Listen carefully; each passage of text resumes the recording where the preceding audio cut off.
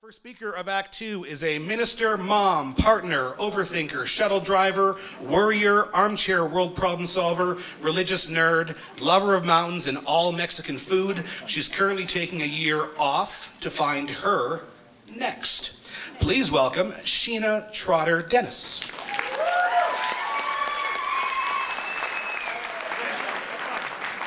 All right, I'm excited to be here. And I was so excited that I was trying to get all my family to come, including my nine-year-old. But she said to me tonight, she's like, uh, I think I want the night off. So there you go.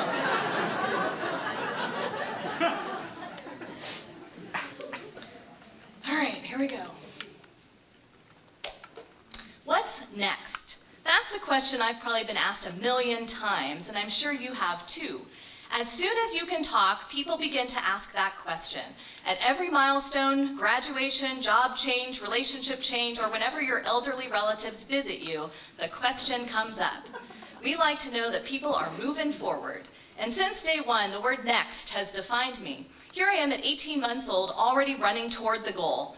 I've always known what was next, my next steps, my next moves, even when things changed or didn't work out, there was always a goal, a direction, a next, some way to move forward.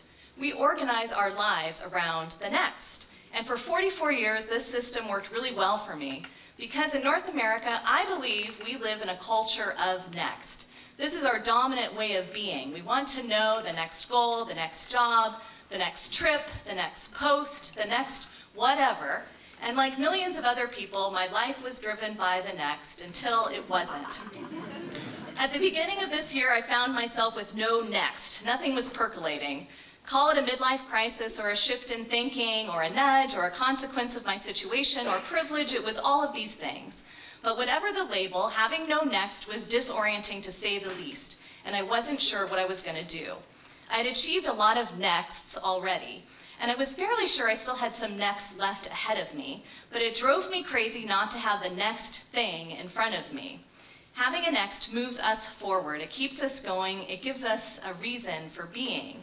And without a next, my, my life seemed disordered and lacking in purpose.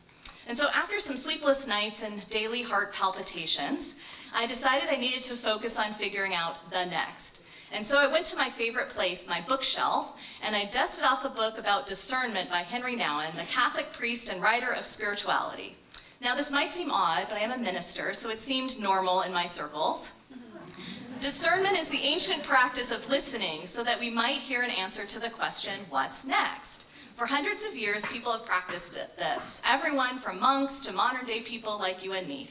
There's nothing magical about it. It's simply paying attention to your life in a different way, in a mindful way, with the intention of finding the next. And what I learned was that sometimes when you're looking for the next, you miss the wide open spaces of the now. You forget to pay attention. You forget to listen, and you forget that your life is big and wide and full of potential. And you need that open space of the now to get you to the next. And so I decided to spend the next 12 months trying to pay attention and trying not to force the next.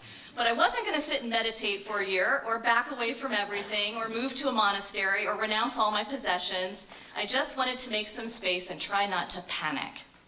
And so what I was hoping was that my life might look a little like this view from the Leighton Arts Center. A wide open space, an expansive vista, no boundaries or limitation. Sky's the limit. Enough space to breathe and to imagine and to see new possibilities. But, truth be told, the year started off looking more like this. The first month, my thoughts were all over the place. My poor brain was trying to plan the next, and it couldn't just be still and listen. Instead, I had a million ideas swirling around in my head, and my brain kept trying to reorder the chaos. I wanted to put myself back in a box, back into something familiar, back into order, and preferably with a plan in place. The conversation in my head went something like this. Okay, I like food. Maybe I'll move to France and become a pastry chef. Or gardening. I should be a horticulturalist. Or bears. I love bears. A park ranger is what I should be. I like how my brain thought I could be an expert in every field. I wanted a next, even if it wasn't logical. As my brain was trying to reboot and make sense of not having a next, the self-doubt began to show up.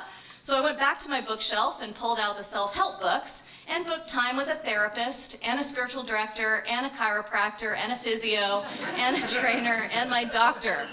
Sometimes you have too much time and space. After the initial unease and self-doubt, things calmed down a bit, but I began to realize just how ingrained this need for the next is in our lives.